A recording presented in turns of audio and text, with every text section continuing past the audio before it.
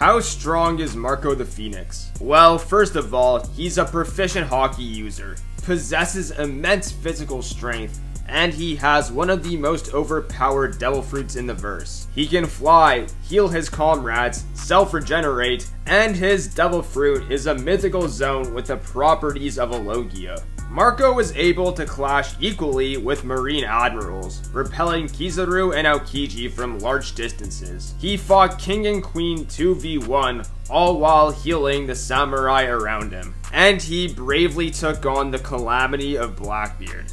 As far as commanders go, Marco is in a class of his own.